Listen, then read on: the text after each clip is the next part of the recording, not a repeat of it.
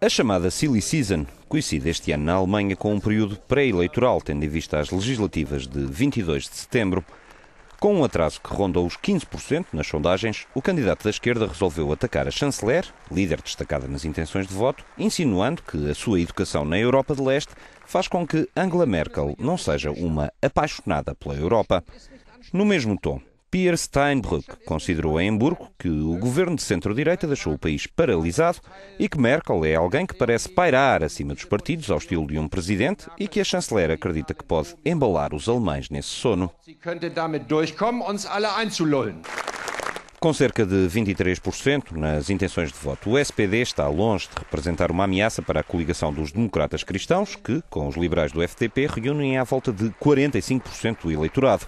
De férias durante três semanas, Merkel nem sequer reagiu à provocação, porque da esquerda à direita os comentadores alemães referiram-se aos propósitos de Steinbrück como os de alguém que não conhece a história da Alemanha.